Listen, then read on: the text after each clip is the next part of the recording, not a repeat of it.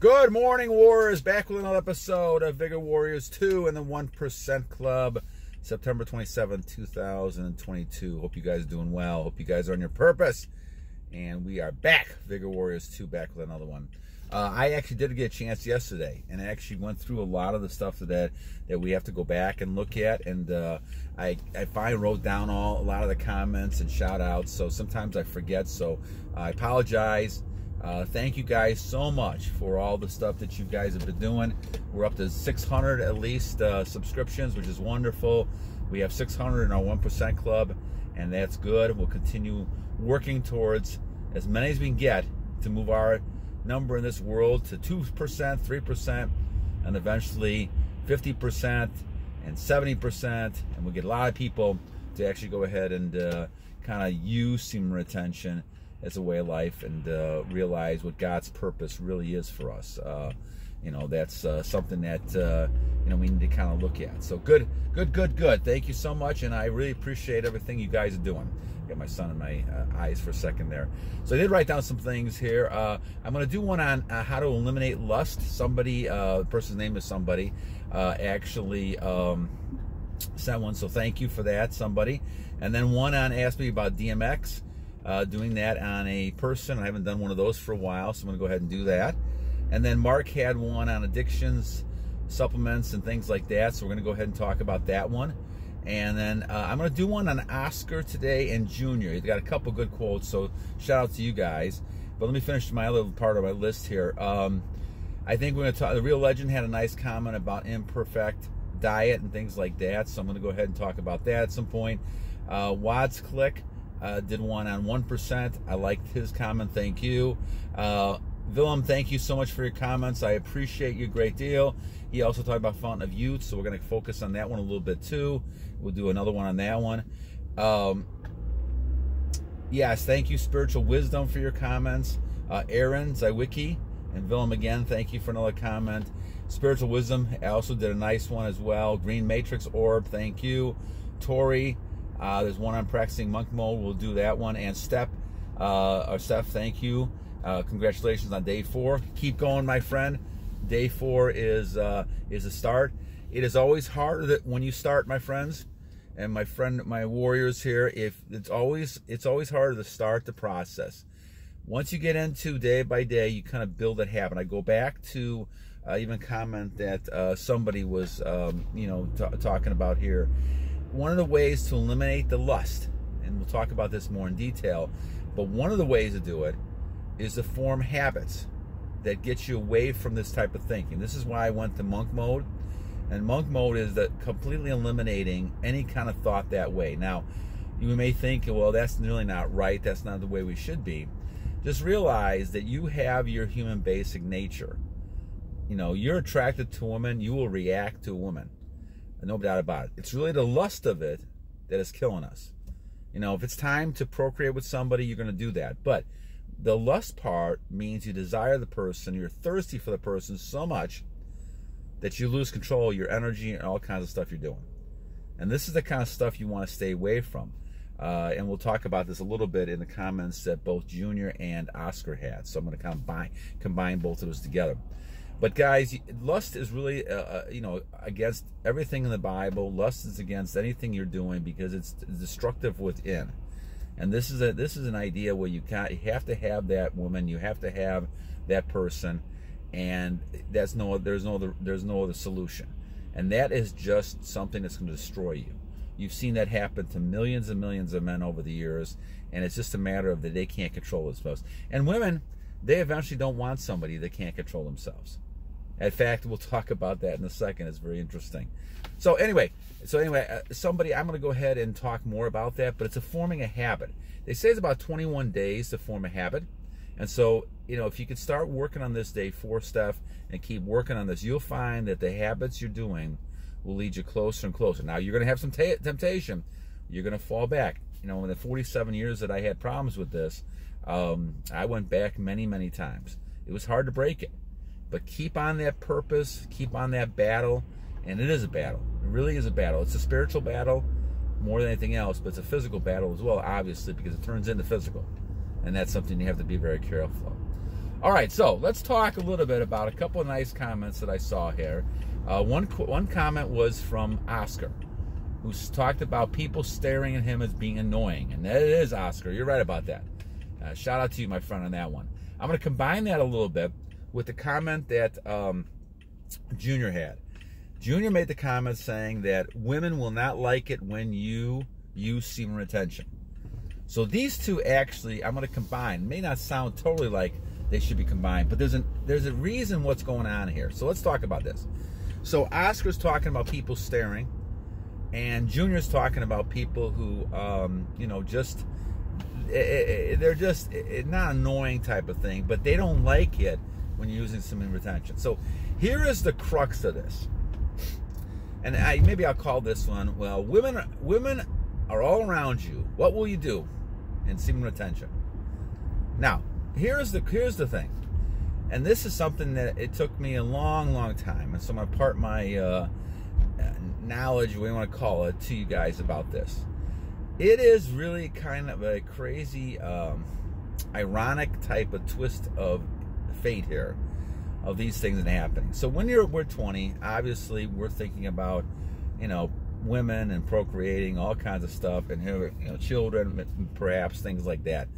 And so when we're younger, all those that that drive we have is very very strong. And the thing is, is that we're not really thinking too much about relationships and all that kind of stuff, even though that may happen. Uh, women and girls think about this a lot earlier than we do because they're that's their nature. The nature is to, you know, nurture and have families and raise their children in a way where they have protection, almost like any kind of species. If you look at this, I mean, the species, the birds, everything, the cats, they all do the same type of thing. So it's no different in our species. In fact, there's a lot more similarities than people think there is. I think that when you look at the males and the females in any kind of species, you'll see a lot of similarities between what we do in the human species compared to a lot of the other ones. Now, we talk about this fact, and the idea is that most women and most men are used to the system that we've had for thousands of years.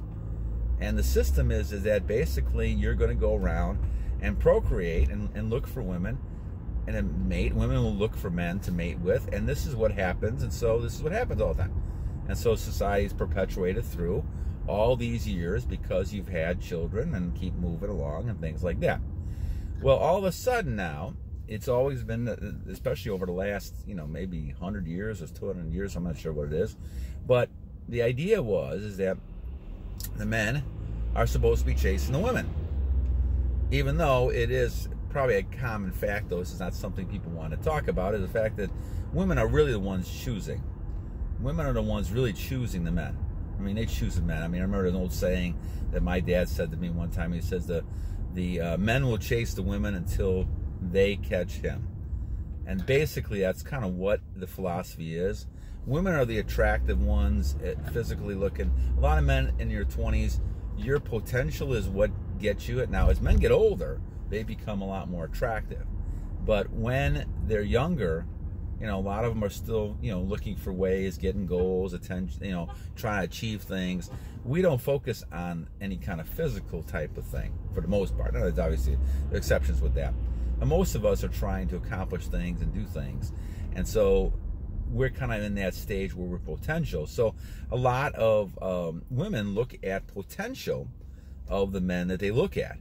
And so, but men, they're looking at the physical qualities. Obviously, that's the number one thing we tend to look at, and that's been shown in research for years that the physical quality is what you know males males look at. So we look at that, and so the natural then progression for women, especially in their 20s and 30s, feels like that. Well, they're going to be chasing, being chased by the men, and of course, you know there's a lot of men that do that and women tend to be, you know, uh, very. Uh, they have a kind of a domination of the the market in the 20s because they get to kind of choose.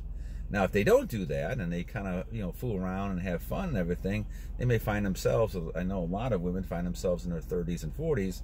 They can't find a relationship anymore, and they're kind of stuck being by themselves and that's kind of a sad situation. But that happens a lot of times because they don't recognize how much they need men in, the, in their 20s, and they feel like, well, they don't need men, and so you know, uh, just going to fool around and do things. And somehow this society again has, gotten things all backwards. And so part of it is that that kind of situation.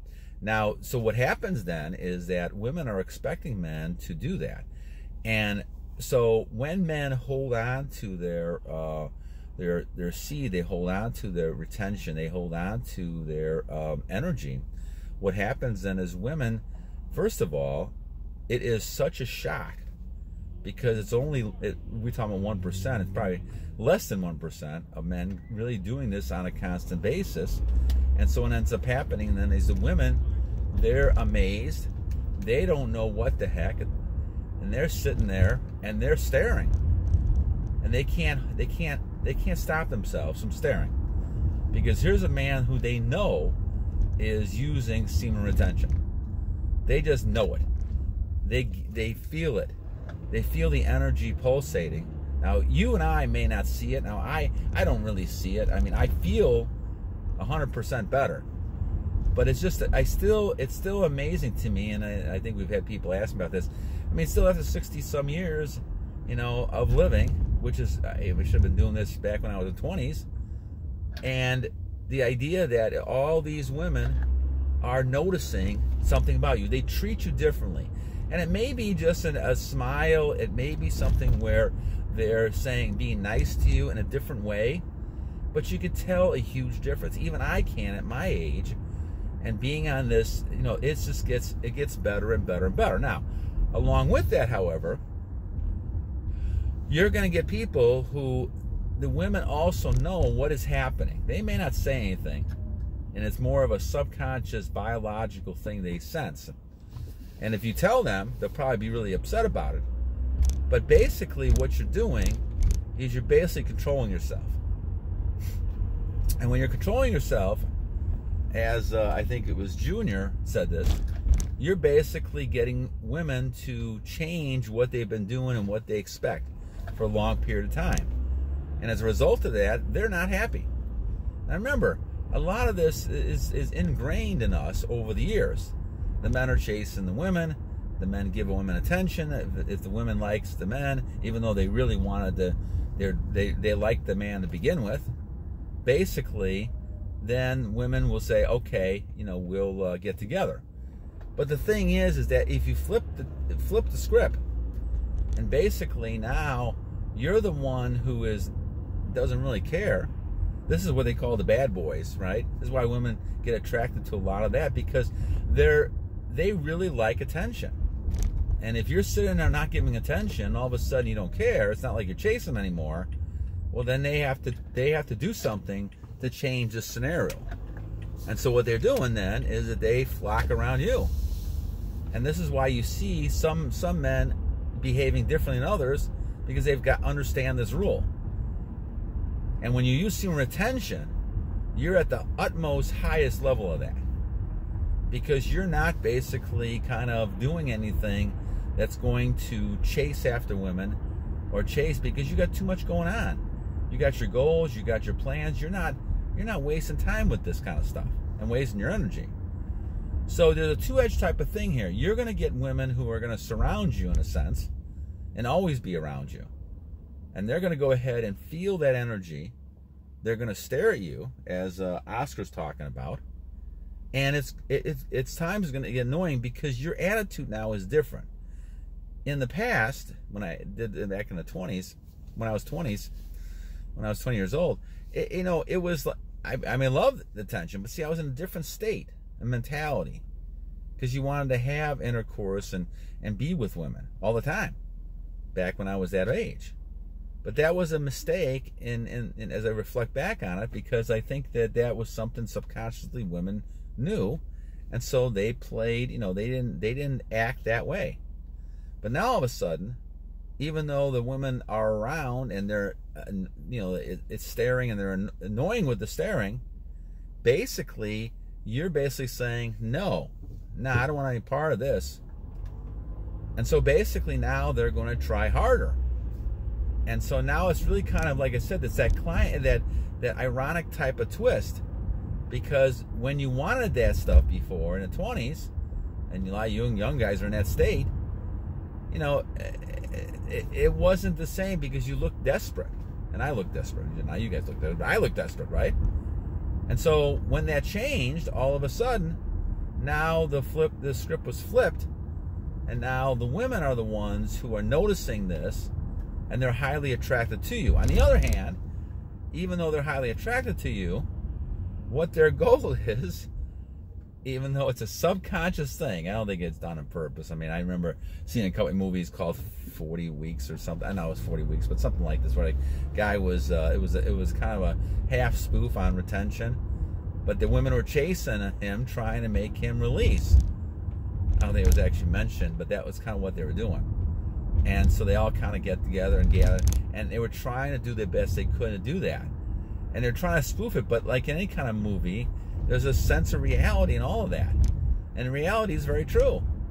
Women sense it. They know the power you have. And this is the unknown truth that we've been trying to change in our society where I believe that because of products, because of, you know, people want to make money, all these kind of things, they've actually had people who are de, uh, you know, kind of lowering the power of males through all this stuff. And so you don't want to release. I don't care what the doctors are saying. You don't want to release. I've had this for two years now, too. What, 280, I don't know what it is, 86 days now, something like that.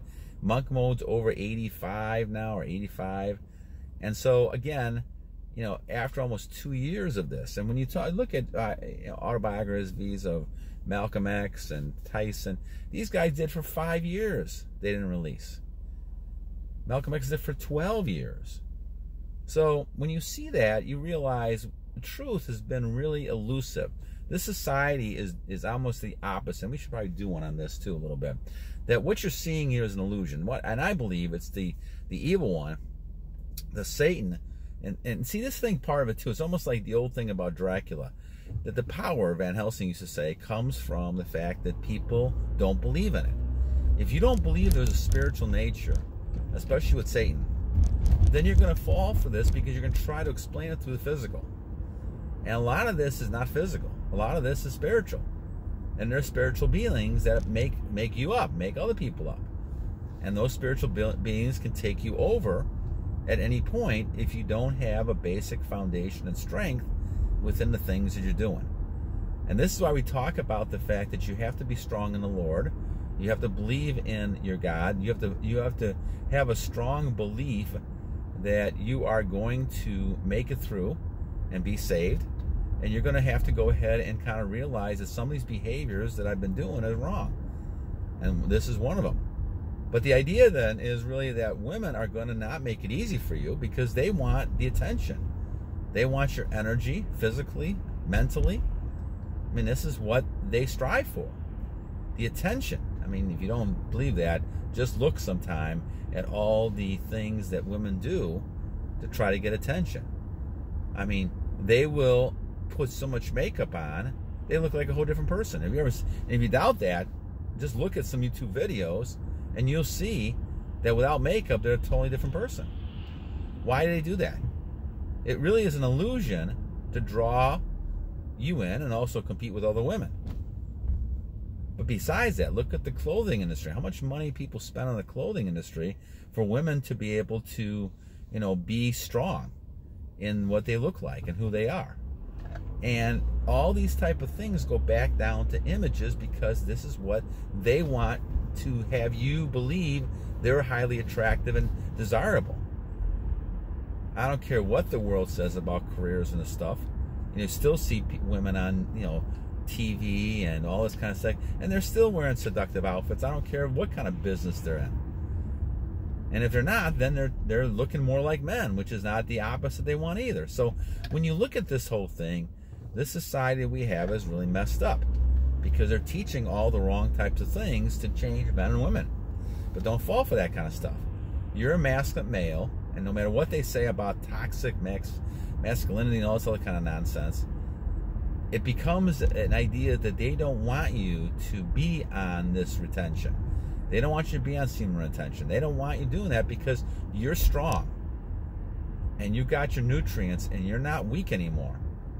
And this is where the power comes from that you have. So I just wanted to kind of mention this. So once again, a shout out because I think Oscar and Junior hitting two good points that are important. And the idea is that it is going to be annoying. Women are going to be surrounding you. Women will be looking at you in a strange way, different ways, and you have to kind of get used to it. And if you're married like I am, it's a it's tricky because you know you know you get you know women doing certain, looking at you doing certain things that it creates more conflicts that you need at home, and you got to be careful that kind of stuff. That's kind of why I take a look at this and just say, well, it's a nice compliment, but it's time to move on. Because really you don't need those type of things in your life that's is in my opinion now and those type of things. Now if you're 20 years old or you're looking for a partner that's a whole different deal. Then you can be a lot more choosy and maybe i'll do one on that one. It's a lot more choosy and now you just have to kind of pick the right kind of person. Once again having multiple partners never is something that i ever agreed with or i liked at all because i just think it wastes a lot of your energy. And you want to kind of focus on someone that's going to help you achieve your goals and things that you want to achieve. Not not someone's going to drain you. And once again remember women like attention. Women like to have people who are giving them attention and whether it's physical whether it's mental whatever it might be it's something that they're striving for. So you can do that and you can have a win-win situation but remember at what cost? Is this something that's going to benefit you in the long run or is it something that's going to hurt you and are you giving more than receiving back? And that's the key. It's almost like a cost reward type of thing. Are your rewards bigger than your cost? Well that's good. That's the way it should be but it should be for both people and so this is why you have to have a fine balance and you have to be careful of the people that you really kind of spend time with and focus on because those are the types of people they're going to help you or hold you back. And as I always said, you want to get rid of the clutter in your life. And so, warriors, you don't need a lot of clutter in your life. All right, so again, let me uh, shout out to uh, Oscar and to um, Junior. Thank you guys for your comments. Uh, like I said, I try to combine both together. I think certainly you're going to get a lot of women attention. I still do after 870 days. Actually, it's it's more pronounced than it was at the beginning. And so as you do it more, you're going to see it more because you become more powerful. And of course, women are going to notice that, right? They're going to see that. And then you're going to have also then uh, people, women who will not like it. Because if you're not releasing energy to them and you're holding that back, they're going to be upset, especially if you've done that before and all of a sudden you stop. But expect that because that's something that's going to happen. And it's something that you have to kind of continue to be strong. And this is why this is a battle because they're going to want your energy. I call them energy suckers, vampire suckers, zombies, but they're going to want your energy. But you need to keep your energy because the only way you become, the only way you stay a warrior is to do that. Look at what happened with Samson Delilah. Eventually, she wore him down. Don't get worn down. All right, guys, have a great day. God bless you guys, and battle on, my friends. Battle on!